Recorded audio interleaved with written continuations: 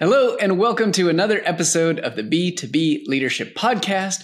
My name's Nils Vinje, and today my guest is Mike Wolber. Mike, welcome to the show. Hey, thanks a ton, Nils. I'm super happy to be here.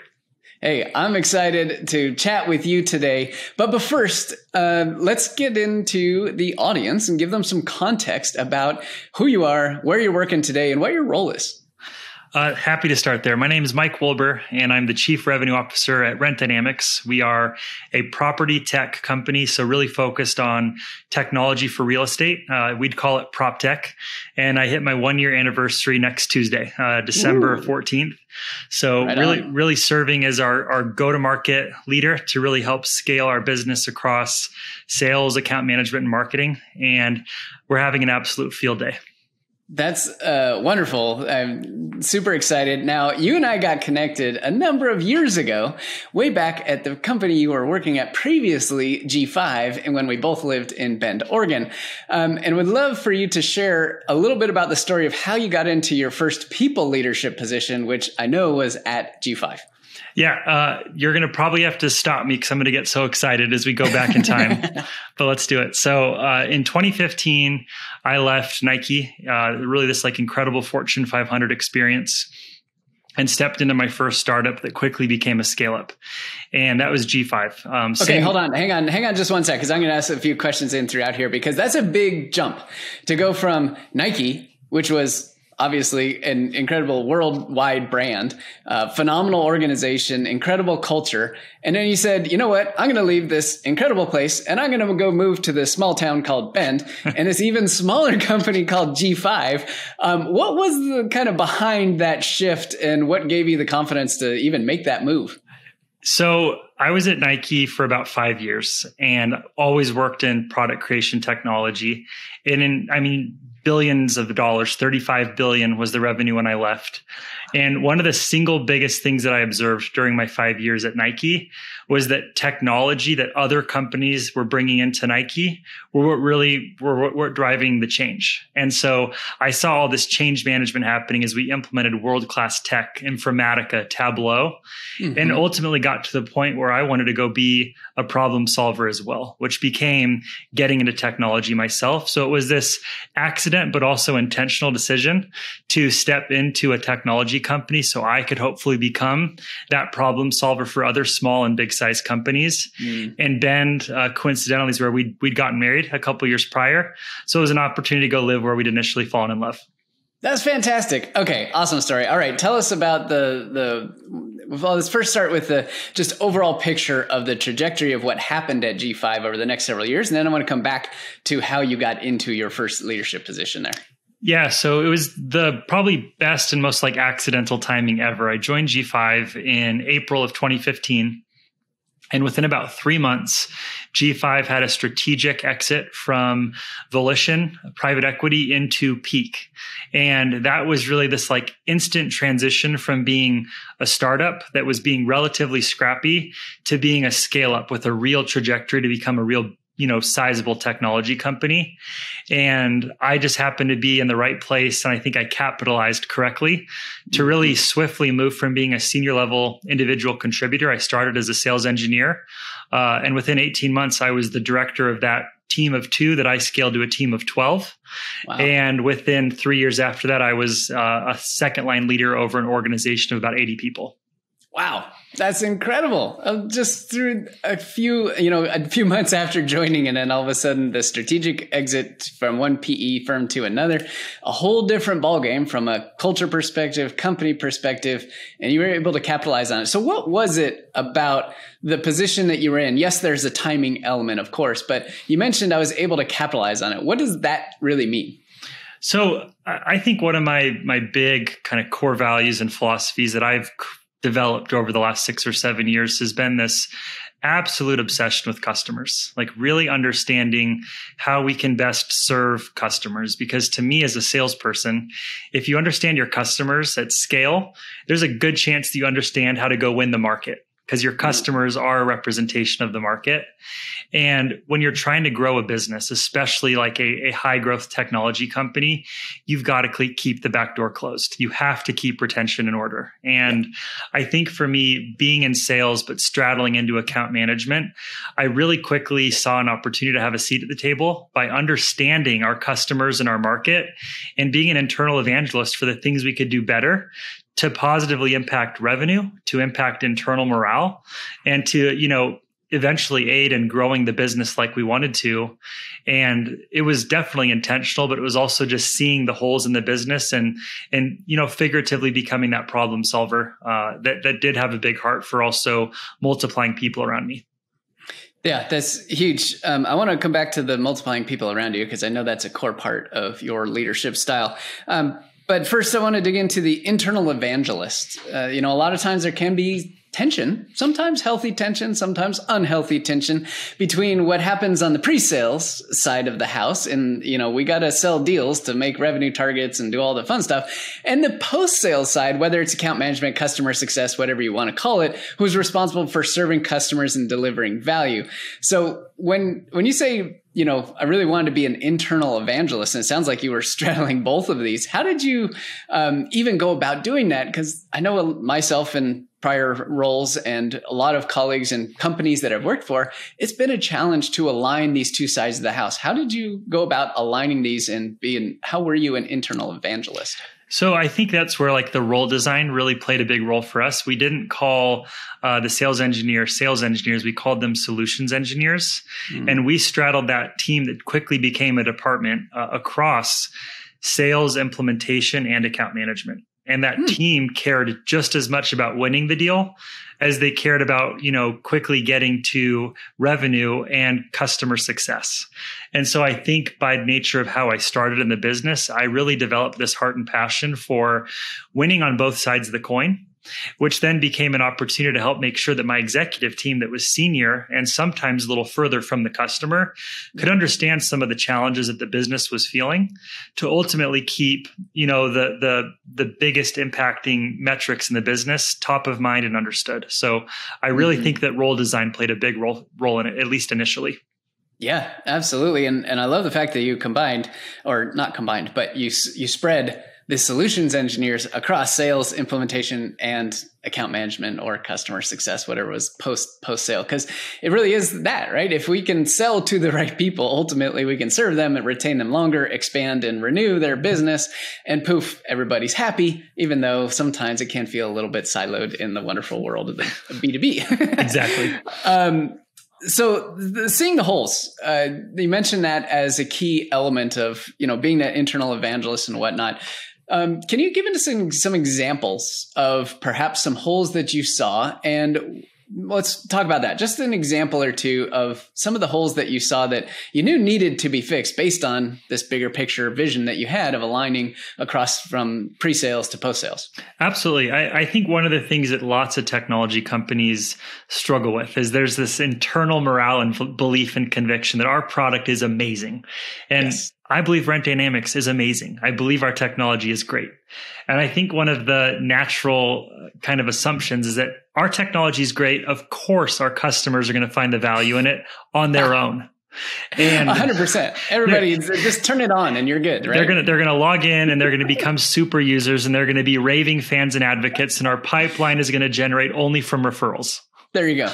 Yep. And, and, like that's the goal. But I think what we kind of saw, and I'm Im- implementing the same motion slowly but surely here at Rent Dynamics, is making sure that you have a plan and a strategy in place, not just for your CX organization, but for the business to operate under this motion of turning your customers into raving fans and advocates. Mm. And and I think my personal belief that that did become the gospel at G5, it's now becoming the gospel here, is making sure that you slowly get the whole business bought into that fact that we're all in the job of, of turning customers into advocates yeah. and, and, and having raving fans. And nothing should be more important than, you know, that, that motion. Keeping the back door closed is important, but it's more important to make sure that, that the few customers who become the many customers are what you take care of first.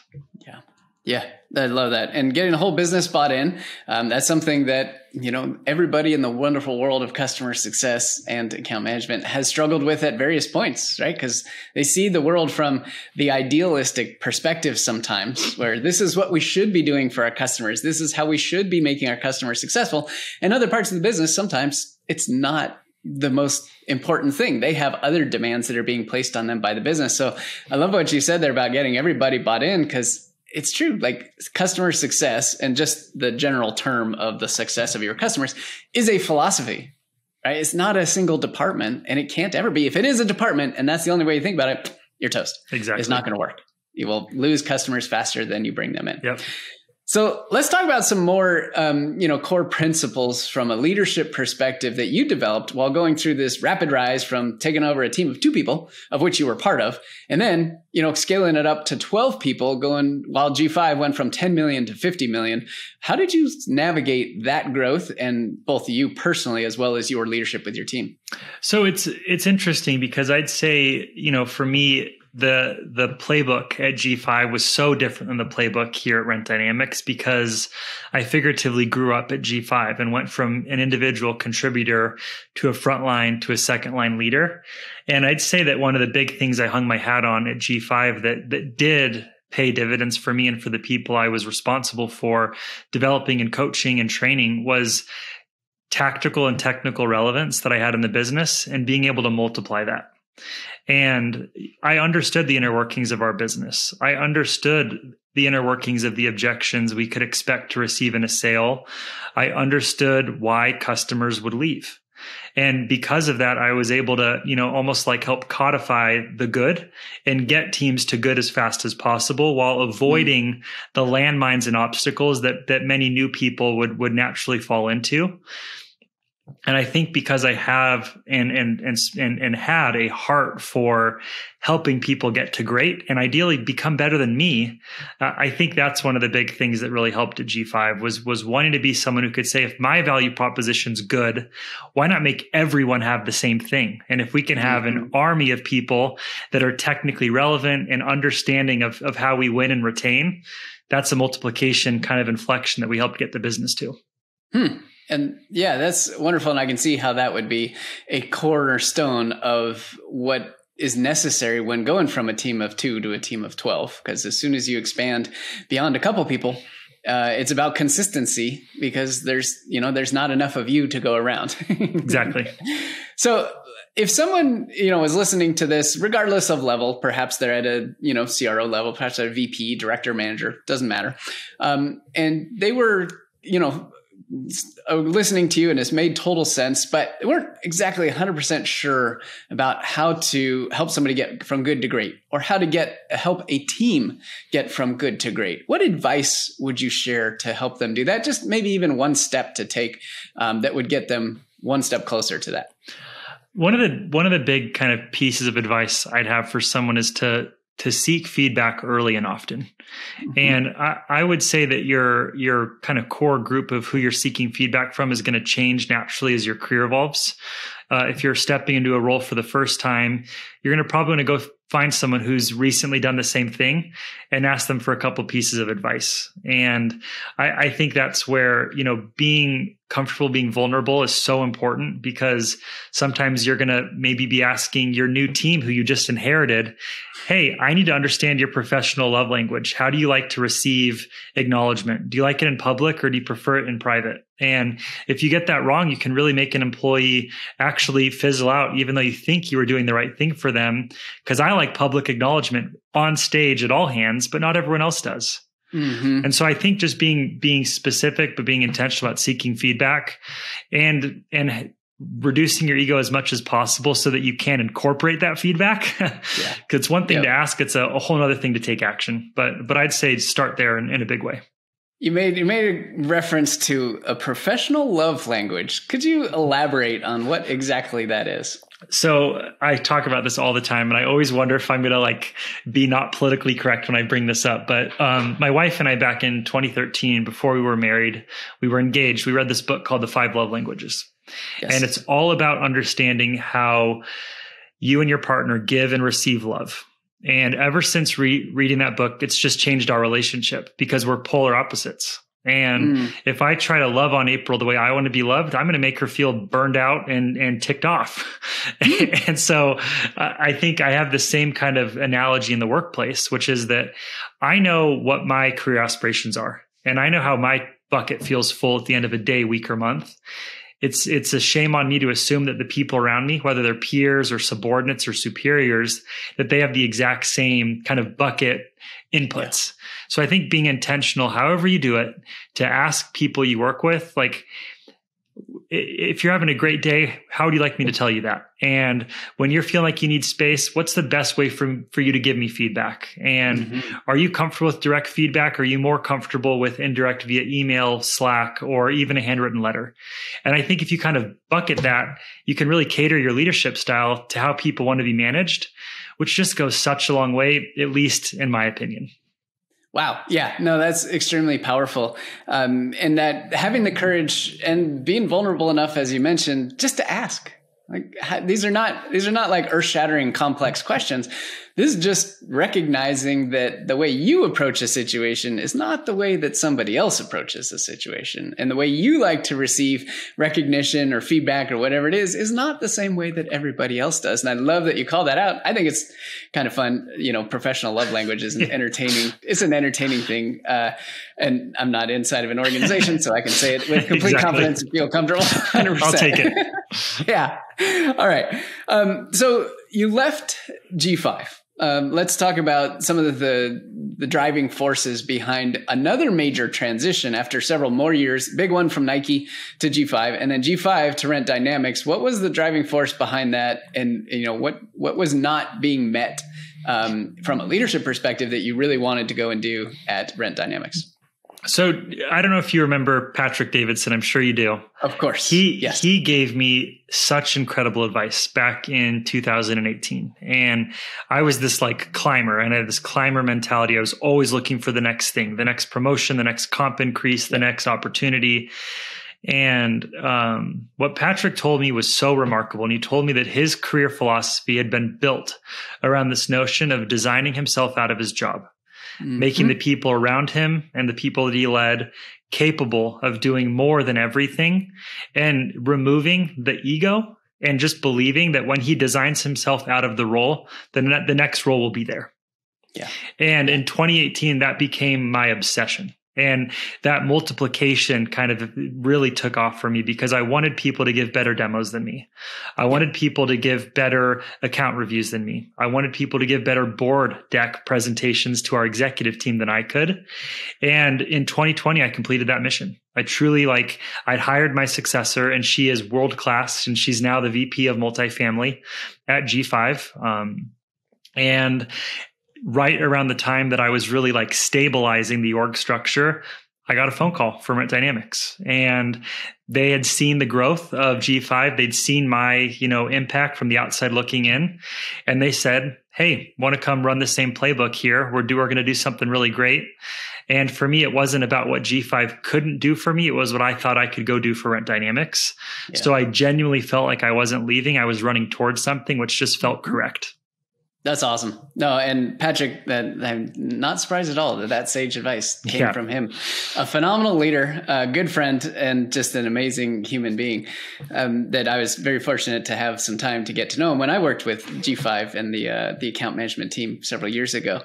Um, designing yourself out of the job. You know, some people might view that as, wait a second, if I design myself out of the job, are they gonna fire me? Am i gonna get like let go? Am i gonna what like what's on the other side? Now you you had you did end up stepping into another role but even if you were um, if someone is thinking about this from how do i apply this but i don't want to leave my company. I'm not i'm not trying to design my job so i end up taking another role.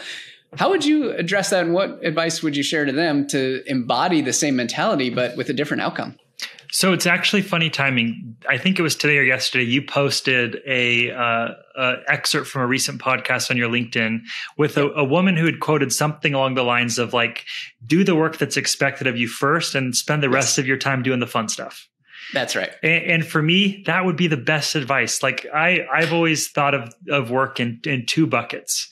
You're working in the business or you're working on the business. Mm-hmm. And if you can stabilize, multiply, and codify, make repeatable all of the in, in the business work, the, the reporting, the forecasting, the sales process, the structure, the stuff, go do the fun stuff because yeah. now now that your house is in order and even if you do want to stay once you've designed yourself out now you're going to go find your next passion project you're going to find where you find more energy versus the drain that you might have in your work yep. and i just think that that would probably be like she said it better than i could do your job first and multiply yep. it and then go do the fun stuff yeah, and that, that was my chat with Alex Damgard, okay. um, uh, co-founder and chief education officer at, at Sales Impact Academy. Great episode. Check it out. It's in the uh, list of these. And and I agree with that 100%. And that has been a sentiment that I've followed as well for a long, long time. Um, and I was able to achieve that in my last role that I had when I was VP way back in 2014 is after a year,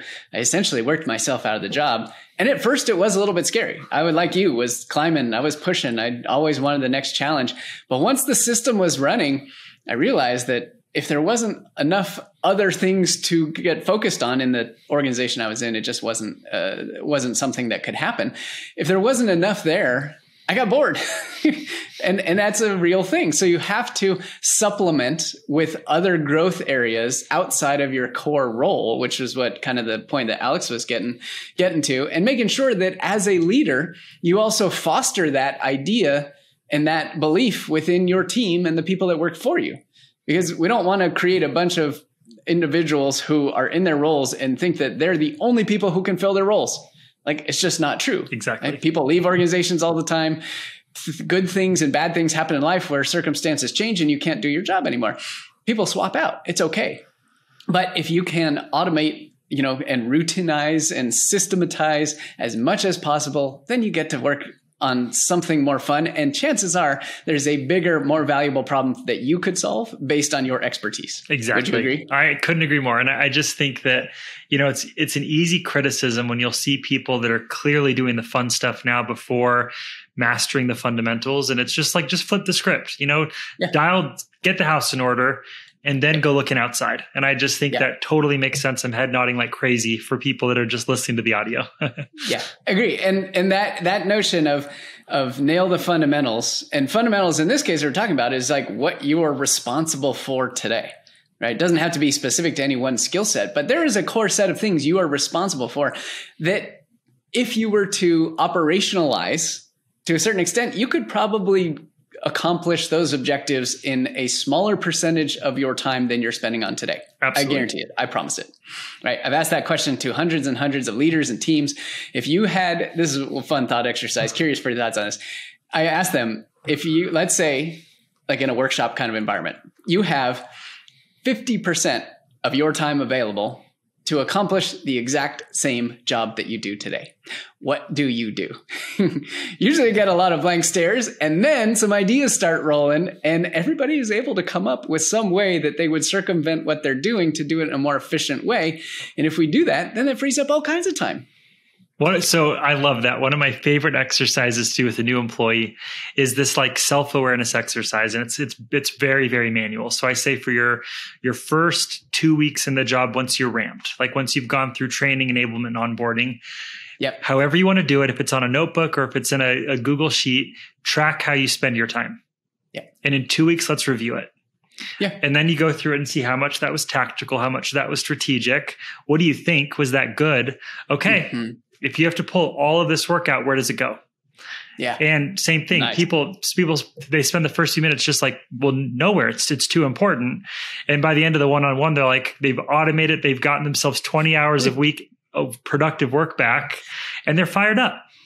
That's uh, that. I love that. I love that you put that in place the first two weeks immediately before any of the habits really get built. Right? We all are looking for routines and things in our work, and chances are you don't question a lot of what you do, even if you're at a C level executive like you. Now, how often do you take a step back and look at your time and where it's going, and do the same kind of exercise being CRO? So I don't naturally do that at all. I don't think about it because I'm such a like I'm such a driven like to do list, check off the box, get it done. Yeah. Yep. I, I work for a world class CEO, and his name's Quincy Rich, and he is probably like the epitome of of of a listener, and asks just the best questions ever. And he's a challenger. And I don't even know if he'd think of himself as a challenger. And I'm fortunate because I'm in the office full time since relocating to Utah. And all the time he'll ask me the question, was that the best use of your time? Mm. Because so you're getting it actually in the moment yeah, all the time. Because I'm new and he sees me going down a path of doing this or doing that. Yeah, and yeah. he's helping me realize where Mike should be investing his time to get the lift that Rent Dynamics needs out of me, but also how I can raise the boats of the people that I'm responsible for. Because a lot of the work that I take on could be delegated or it could be codified into a system. And so yeah. I'd say I'm really, really fortunate to have someone who sees that kind of deficiency in me. And I've yeah. got no ego with that. Like I'm happy to say, like, no, that was a bad use of your dollars that you just invested in me. Let's solve for it. But I can make some good use of the next dollars that we invest. exactly. So in that situation, like where you're getting this in the moment, is he telling you where to spend your time or is he simply asking you the question, was that the best use of your time and forcing you to answer that honestly as opposed to him giving you a solution? He's he's totally guiding me through questions, never telling me what to do because he knows that that autonomy to me is super important. And he knows that I want to feel like it's my fingerprints, even if it's our fingerprints on how it's being built. Uh, and, and, I think we could all learn a lot from that type of leadership style of of of if you were to have a, a conversation of me and Quincy in Gong, I bet the talk ratio would be 10% Quincy, 90% me because yep. he's yep. got me solving and he's just right. helping me do it on my own. It's beautiful. He's he's being your coach. Yeah. Right? And and there's a great statistic that says that someone, any individual, is like 80% more likely to follow through with, with a solution or an idea that they came up with as opposed to one that was given to them, even if it was the exact same idea. There's this level of ownership that all I think all human beings possess that if it was our idea, it means more to us than if someone gave us literally the exact same words. And that is a really powerful message. Awesome to hear that it's in your CEO and you get asked the questions all the time. And I imagine you do the same thing for your team. It's sure helping me learn and it's sure helping me level up. I agree. Love it. All right. So, um, sometimes people can say that uh, it's a little bit lonely at the top, right? Or in as you grow and progress through lead, various leadership positions, it can be hard to find an appropriate outlet or find um, others in your organization that you can lean on where you can openly share the challenges that you're going through without fear of either sharing too much or sharing something that's inappropriate et cetera et cetera. So what advice would you have for leaders again at any level um, to help them with you know the network effect i guess i would say of some support side of things whether it's coaching or whether it's just a peer or whatever is how do you support yourself as you continue to grow and level up in organizations it's such a good question and and it's it's it feels kind of arrogant to say you know it gets lonely at the top but the reality is it's true uh, as as your peer group gets smaller because you're not in the business you're working majorly on the business and it just does change you're accountable to your investors and your board as much as you are to your employees it just changes yeah. and patrick lencioni is is someone who i've i've really read a lot of and um, a Same lot here. of a lot of that came from G5 in terms of the leadership teams that I worked for, eventually worked with. And I, I, think one of the things that I learned from his books, but also from mentors like Patrick, was that the importance of getting to a highly functioning executive team is so critical. It is critical for the business to be able to have a plan and execute on it. It's, it's, I mean, in the great migration or great resignation right now, it's important so you can have a pulse on actually what's happening. But I think for, for me now as a, as a, a C level officer, that's my peer group. And if my mm-hmm. peer group and I aren't connected and able to disagree and commit and, and actually talk through the things that matter, then I'm on an island. And so I think that's probably been one of my biggest like personal goals was helping shape the dynamic in our executive team because I'm I'm probably the the, the least lonely that I've ever been because we've got such a good dynamic right now. Mm. And I think the investment in that like daily touch point with my executive team is probably the single biggest reason that my job satisfaction is, is as high as it is right now. That's okay. That's a really interesting point, and I think applies regardless of if you're talking about your peers or your executive team, your peers are your team, your peers are a leadership team, whatever it is. That your job satisfaction, one of the key contributing factors is so high is that level of connection and that level of rapport and camaraderie with the group. That even though you have different opinions, different direction, different you know feelings about what is going on you have that common bond and that common connection and that plays a huge role in wanting to stick around. Huge. That's awesome. Love it. All right mike so let's take a last question here. Little trip back in the time machine. If you were to sit down with your former self let's go back to like you know when you joined g5 right? And you know everything that you know right now having been through all of your incredible experiences and growth and being CRO now at Rent Dynamics, what advice would you give to your former self at that earlier stage in your leadership journey? So I thought you'd ask a question sort of similar to this. I listened to a couple episodes this morning just to like get some nails in my head. And I, I, think of everything we've talked about today, one thing I haven't mentioned is this core belief that that would probably be the, the advice I'd give 27 year old Mike when when I joined G5, and it would be that when you join a new company or you step into a new role, there's this natural kind of intimidation that you feel because you assume that all the people around you have the answers or they've yeah. they've been there before or if you speak up it's not going to be well received. And one of the best things that i've embraced is this just this internal mantra that everyone around me is making it up as they go and I know that a lot of people have experience at bigger companies or they've done the playbook before, but this exact problem that we're trying to solve right now, there's a good chance it's the first time that they're having to deal with do we save that person or let them go? Mm-hmm. And and there is no playbook for that. You got to do the right thing. And yeah. you got to be the first person or the second person that actually raises your hand and says, This is what we got to do for the business. Yeah. And I think that really just like neutralizes the intimidation factor of stepping into a new company or a new role and really embraces my kind of biggest goal is is just having people have high convictions so they can have higher confidence. But if you think that everyone's making up as they go you can step into it with a good peer you know peer group of mentors and take action and make things happen.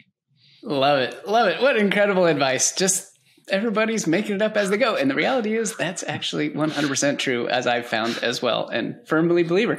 And it's amazing how much that can put your mind at ease in situations where all the pressure and all the feelings of imposter syndrome really come from us not believing that we have a right to be in the position that we're in, even though the company already put everything behind it, offered us the job, pays us the salary, gives us the benefits, and they've already said, no, you're the right person exactly. for this position. And we question ourselves because we think we're supposed to know more than we do. I know. It's amazing. It's amazing. So that's why psychology is the source of and solution to all of our problems. I love it. All right, Mike. Well, it has been an absolute blast. One to catch up with you today, but two, um, just you know, ongoing friendship. I remember our very first meeting in Bend in G5, and uh, from that point on, I was like, this guy is going to be going on doing some incredible things. So it's been amazing to see your rise and journey through G5 all the way up to CRO at Rent Dynamics. Congrats on all the progress and performance, and thank you so much for sharing a little bit about your experience and your advice for me and this audience. Thank you, Nils. It was an honor to be on today.